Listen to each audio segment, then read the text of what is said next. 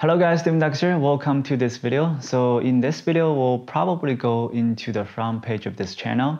And the reason why that is, is I'm going to explain a little bit about my future plan and also giving you my total experience about trading in this industry for the course of eight years and also telling you a little bit about myself uh, for the people that just new to this channel. So hopefully you guys are ready and let's get into the video. So a little bit introduction about myself. I started trading when I was 19 years old. A month away, I'm going to turn 27. So overall trading years will be about eight years in total. And in the course of my eight years, I've turned 27,000 into 10 million plus. Due to my personal safeties, I'm not very comfortable sharing all those numbers, but I'm willing to share all my experience.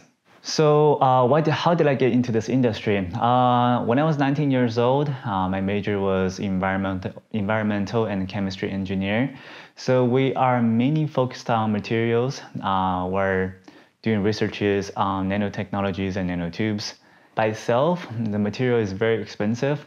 And also, as a broke college student, you know, you need tons of money to build your materials. And also, it's already a struggling uh, living on campus with about $6 an hour working uh, only in the campus as a F1 student. It was pretty difficult at the beginning, so that's how I really got into the industry. Uh, I used my tuition since I don't have to pay by the end of the semester, and that's how I started to flip my money from 27,000 into uh, $10 million plus my risk has gone from risking $100 to uh, about 300,000, sometimes 150,000 uh, normal. And my reward has gone from making about two, $300 a day to make about millions of dollars per day at the most. Uh, uh the biggest trade I made was uh, that I post on Instagram and Twitter was about $4 million.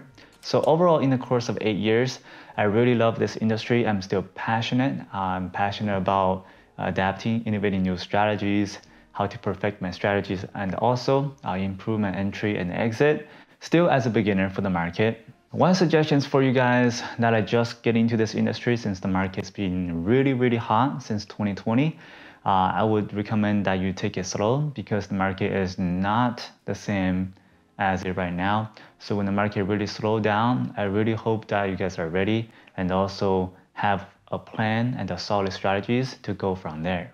At the beginning of my trading career, I'm not sure I'm going to make it since and in the first about six months, I have lost 50% of my account and I managed to make it back and also almost blew my account trading BGI. I was down about 59,000 on a $63,000 account. But it turns out the stock topped out. I was managed to get out, but I was lucky. And ever since then, I was very aware about managing my risk and how to really stay consistent profitable uh, in the entire market.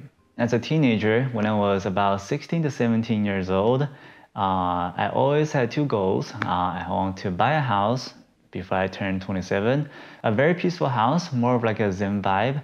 And there's another dream car I want to buy, which is the Lamborghini Vivintone.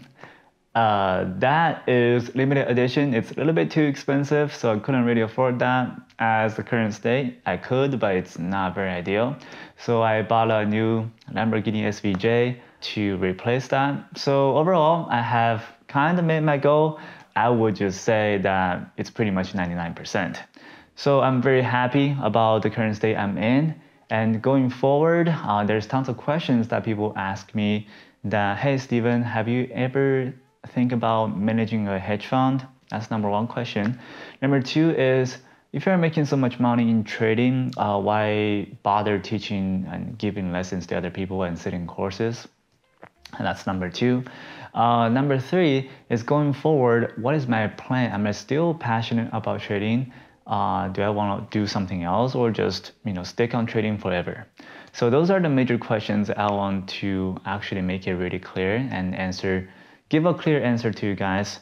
So for first of all, uh, why do I want to give a course to other people and start, I would say, this entire trading education thing? Uh, first of all, there's tons of scammers in this industry. I'm not gonna lie. There's very few people that consistently post their account statements for the last of their, I would say, trading career. First of all, that you want to prove that you're consistent profitable before you want to teach others. So that's number one. Uh, number two, the second thing uh, it will be that why do I really bother to teach other people? So this is one of the key points that you guys want to listen. So the entire trading industry, first of all, there is your risk. Second, there's your reward. And as I keep growing my account, I go from risking $100 into 150,000 to 300,000, right? But keep going up and up, it's not very comfortable for me. I'm willing to you know, stay in my comfort zone, right? Risking about 150,000 to make 300k per trade, to make 600k per trade. And I think that's plenty. I don't really use that much money on everything. You know, I buy cars and I put a down payment on it, maybe 50%, and I use it for several months and I switch to another car. If I really like it, I keep it for one or two years. Other than that, I just want to try everything at once. I'm a big car fan, and you see I have changed many cars to McLaren, Lamborghini, and Ferrari, and going to SVJ and potentially Koenigsegg in the future. But overall, I'm not a collector. I just want to try everything at once, and eventually I will probably get a Honda Civic. You know, get an electric car and be done with it. so that's probably one of my goals in the future. Uh, that's about the car story. Back to the risk again. Um, going up from 150,000 to 300,000. Between that zone, I'm okay with it. But starting risking 500,000 to make 2 million, and that risk i'm just not comfortable at all i've tried it before but I, it just gave me too much mental pressure to really uh, manage that type of risk to gain that much reward. It's more like um, a roller coaster. So what the logic behind this is if i'm not willing to risk 500000 to a million dollars to make two to three million dollars uh, in one trade there's tons of extra profit laying out there for traders to risk uh, maybe a thousand to, to make 3000 right? There's extra room for them to make it to, for them to make money so in this case giving out some of the courses that i learned throughout the years you will actually help them to make money it's not like i'm going to make all the money in the market since i'm not very comfortable with that much risk and as you grow from a small trader into a very experienced tra trader, uh, you will have your risk. I mean, for a certain risk, for a certain amount of money, you just don't want to go above it. It's not really worth it for that mental pressure uh, in your head. That risking, you know, a million dollars to make three million, or risking 10 million to make 40 million. As a retail trader, uh, not comfortable until probably maybe five years later. But up to this point, I'm staying around that risk area. Hopefully you guys can understand that. Now you guys understand that there's extra room for people to make money and why do you want to give my secret away? First of all, there's tons of people that came into the market during the quarantine. So there's extra profit pretty much everywhere in the different market cap zones. So given out my strategy will have a lot of extra room for traders to make their own fortune. Uh, making from 10,000 to 500,000, it's pretty much very common from people who bought GME at $20 a share. And if they are really interested about trading, then you can come to learn this strategy to stay consistent profitable. If you don't want to stay consistent profitable, you only want to make those GME buying at $20, selling at $300, I have no problem with it. If you want to be consistent profitable trader, you can get the course. If you don't want to and you have other strategies, I'm totally open up to that idea because uh, you don't want to force the sale into other people that you know are interested in the market. Now the second question will be, hey Steven, why would you you know try to manage a hedge fund? That's one of the questions I've been getting for tons of my friends and also from uh, one of our I would say top students ask me that if you manage a hedge fund, you can make up to so many millions per I would say per year. Number one is that there are some people that came to me that want me to manage their money. But there's one thing because pretty much for all hedge fund, your management fees is around about 20 to 30%. So let's say if you're managing a $100 million fund and you make $50 million, right? Then you your commissions will be about 10 million to 15 million dollars. That's just the gross profit. You have to pay off the borrow fees. Don't uh, forget about that because since your account is so big that your borrow fee is going to be kind of ridiculous. Probably paying a hundred thousand without even using it if the opportunity didn't even, you know, come to you. Not comfortable with that.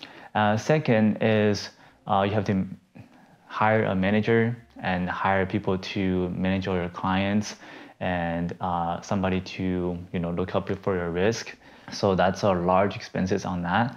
Borrow fee itself, it's pretty very expensive. So personally for my strategy it's not really worth it. If i'm making about over 10 million dollars a year and then you're making about 10 million dollars uh, a year on hedge fund then have you have to manage all these people uh, paying all paying out all those borrow fees and managing much bigger funds so you will have much bigger mental pressure overall when you're in a trade. So i think it's just not very worth it. Uh, the only benefit that is if you lose all your money, that's not really your money, and uh, that's the only benefit. But in terms of uh, I've been trading for the last seven years. I've stayed consistent, profitable, and you guys have seen my account statements. I have probably two to three red month in the course of a year, and I've been very consistent with that. And I'm always willing to learn uh, new method, innovating my strategies, and being adaptive to the current market condition. For hedge fund, that's the reason that I don't really want to run it. And maybe in the future, I will probably start one, but for fun, uh, not really for making money uh, in that purpose. so going into the future, uh, those are my personal plans, and I think it will be pretty interesting uh, since we're getting into more and more advanced technology. And for personally, for my strategies, I want to build out a scanner, which is pretty much 99% done. And we're still having some issues with our data server.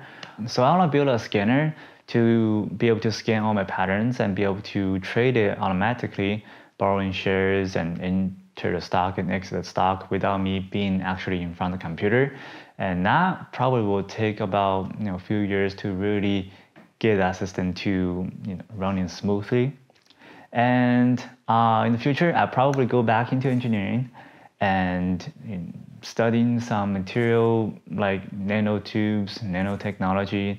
Um, pretty interested about uh, gene modification like Casper9 and probably build like a very steady portfolio on real estate since due to all this money is being printed out uh, in 2020 and 2021 there is a large inflations that's you know we're currently being experiencing. And i think the market will adjust pretty heavily. So i'm aiming to um, probably invest into real estate when there's like a huge pull uh, on the i would say market price. Then i will be able to build I would say a real estate portfolio that can generate me a maybe a passive income, probably like two to three hundred, maybe five hundred thousand dollars a month. Then I want to focus on what I'm passionate about. After trading about eight years, those are all my thoughts for this entire video. If you guys have any questions, you can leave a comment below. And well, I will still be posting all the technical analysis and how to really adapt into the market in the future. And if you're interested in our software scanner that can be able to scan pattern in the future, which is currently being developed right now, uh, you can look up the link below. But other than that, make sure to leave a comment below uh, or press the like button. And I will be doing a house touring for you. So thank you very much for watching. I will see you guys in the next one.